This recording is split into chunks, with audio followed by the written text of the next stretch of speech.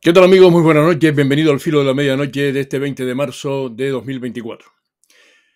La pregunta que hay que hacerse, ¿es el Partido Socialista Obrero Español y como punta del Partido Socialista Obrero Español, como punta de lanza, el gobierno actual de España, una eh, asociación para delinquir?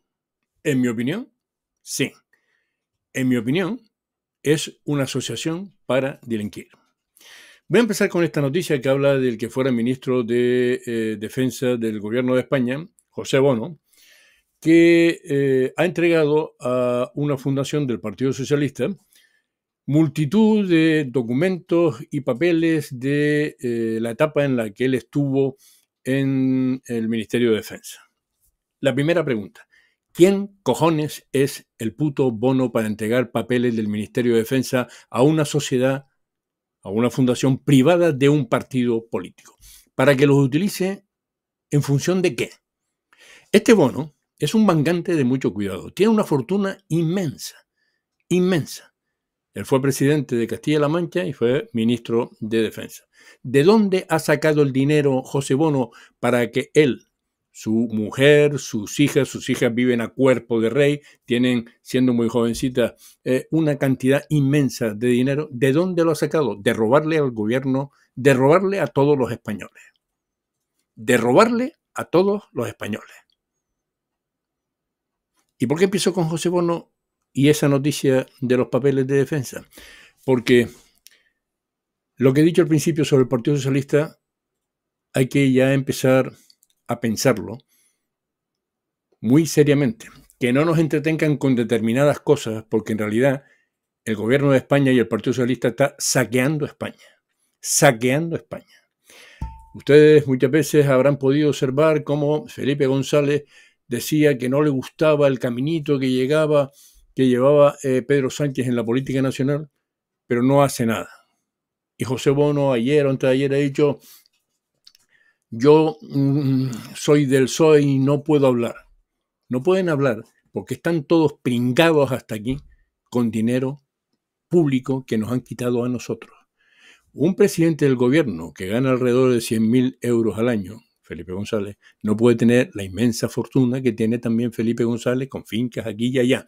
Y como eje vertebrador de la mafia que supone esta gente, está la República Dominicana la República Dominicana. Allí van a blanquear dinero multitud de socialistas. Allí, la República Dominicana ha hecho ciudadano de la República Dominicana, por supuesto Felipe González, por supuesto José Bono, y a más de uno, dos, tres, cuatro ciudadanos españoles, todos del Partido Socialista. La trama Coldo blanqueaba dinero en la República Dominicana. España ha concedido créditos con un concepto increíble a la República Dominicana. Allí han habido, en la etapa Sánchez, 39 vuelos del Falcon a la República Dominicana, muchos de ellos sin justificación oficial ninguna. Porque allí, en la República Dominicana, están blanqueando lo que roban aquí. Hoy ha tenido lugar la entrada de la Guardia Civil en la Real Federación Española de Fútbol, ha detenido a siete personas, han eh, también registrado la, la casa de Rubiales en Granada, del que fuera presidente de la federación, y no lo han detenido a Rubiales porque estaba, ¿dónde estaba Rubiales? En la República Dominicana. ¿Y quién es Rubiales? Íntimo amigo de Pedro Sánchez. Íntimo amigo de Pedro Sánchez. Con una particularidad según ha reconocido gente muy cercana a Rubiales. Tiene grabado a todo el gobierno y tiene grabado a Pedro Sánchez. De hecho, el Confidencial, el periódico Confidencial, en un momento terminado, me parece que fue en el 2022, incluso dijo los WhatsApp, habló de los WhatsApp que se cruzaban Rubiales y Pedro Sánchez. Eso es en tono normal, pero también tendrá archivado Rubiales, conversaciones con Pedro Sánchez y los WhatsApp con Pedro Sánchez en otros momentos. Íntimo amigo de Pedro Sánchez, porque el padre de Rubiales era un alto cargo de la Junta de Andalucía en el momento de los seres, también escenario del robo masivo del Partido Socialista a todos los españoles. Rubiales levantará la manta como decían que le iba a levantar Ábalos, ¿no? Hay una orden de detención contra Rubiales. Si se presenta en España, estará detenido. Es una organización mafiosa. Lo ha sido siempre. Lo ha sido siempre. Y cada vez que ha gobernado, España ha sufrido al máximo. Nunca tanto como ahora con Pedro Sánchez en el poder.